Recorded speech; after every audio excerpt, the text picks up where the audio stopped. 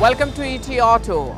I'm here at Noida Sector 16 Automobile Market where lots of mechanics work on repairing cars. They also sell used cars.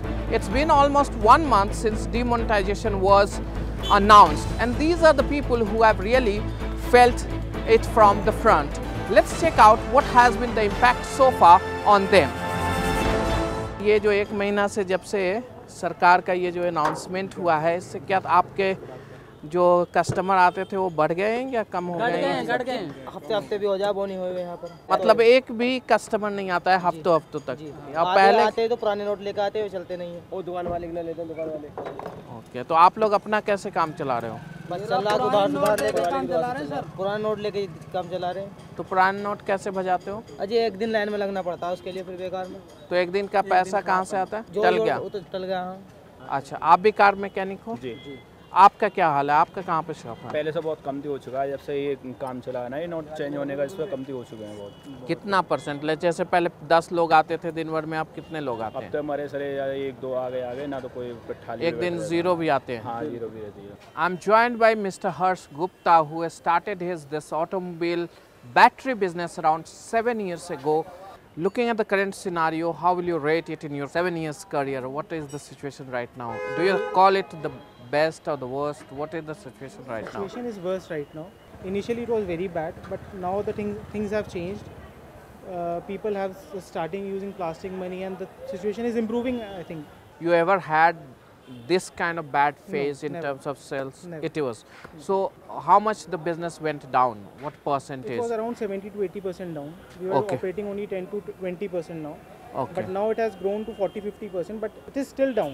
Everyone is happy with the process, but still it will take time. यहाँ पे 15 साल से body building का काम करते हैं painting denting इसकी काम करते हैं आप। ये जो पैसे बैन हो गए कितना फ़र्क हुआ है? सिक्सटी परसेंट समझो।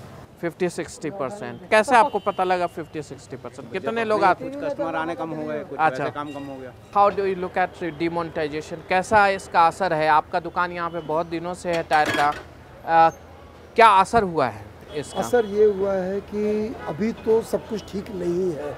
लेकिन आने वाले टाइम में सब कुछ ठीक होगा। हाँ, ठीक है? ऐसा मैं हंड्रेड परसेंट बिलीव के साथ कह सकता हूँ। मेरे घर का खर्चा छियानवे हज़ार रुपये महीने का नहीं है जो मैं हर हफ़्ते चौबीस हज़ार रुपये लेने के लिए लाइन में खड़ा हो जाता हूँ। सर इसमें मेन प्रॉब्लम है ना कि जो अपना हमारे जो सर्वर्स हैं वो प्रिपेयर्ड नहीं है अभी। जैसे मास्टर और वीज़ा जो फॉरेन में सेटल्ड हैं। आपके बिज़नेस पे कितना असर पड़ा है? बिज़नेस में इसलिए असर नहीं है कि मैं हंड्रेड परसेंट कार्ड एक्सेप्ट कर रहा हूँ।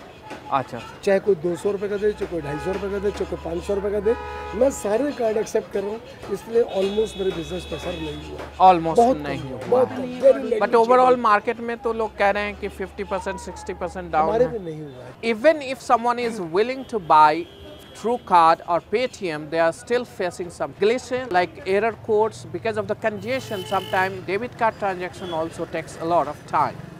We have easily available data information and forecast for organized sectors. But what happens to unorganized? We do not have any information, data available for them. So I took out time and visited this market to understand what kind of impact demonetization had on them. Whatever we saw so far that they had a fall of up to 80% in terms of business, while some said that they were having very little marginal impact because they were able to use plastic money. But they also faced some problem in terms of congestion and technical errors. When it comes to used car sales in unorganized market, it has been really, really bad compared to the organized one. Because in organized one, banking facility and other financial systems are in place, but in unorganized, mostly these finance companies do not come in picture. Till then, take care and keep watching.